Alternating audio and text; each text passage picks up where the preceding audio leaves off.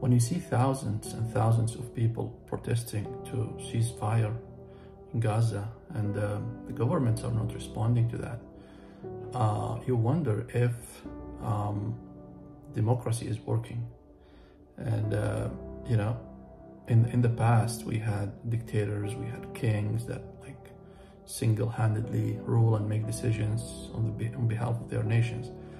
Uh, we thought we passed that. We thought now we live in, um, um, you know, an age of uh, advancement, civilization, and you know we have a, a, civil community that that takes human rights seriously, and uh, that we have governments in the West that represent their people. Um, but um, when you see that this dissociation between what the people want and ask for, and um, you know, we all saw that the um, the big demonstration yesterday in, in Washington D.C. and uh, before that in multiple cities throughout the U.S. and in Europe, you know, big big demonstrations, and the political leaders they are not, you know, reflecting the concerns of their people.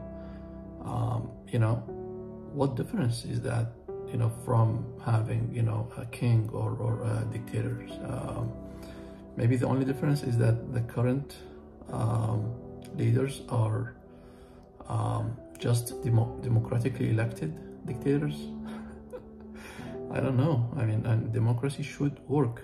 Um, leaders should represent their people and, and if the people are asking for i mean even even if the people don't ask for that that's just basic human rights when you see thousands of innocent children being killed in this way. I mean that's that's my god that is that, that's gotta stop.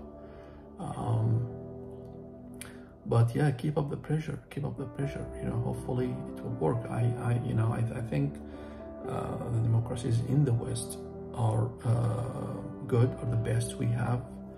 Uh, you know, we all, myself included, who are living in the West, we enjoy the freedom, we enjoy, you know, um, all the benefits of uh, democracy, but it gotta work. It, it, you know, it cannot be like that. Uh, um, you know, when you have all these thousands of people asking for a ceasefire, you gotta respond to that. You gotta put some pressure on Israeli government. Um, you know it cannot go uh, unnoticed like that.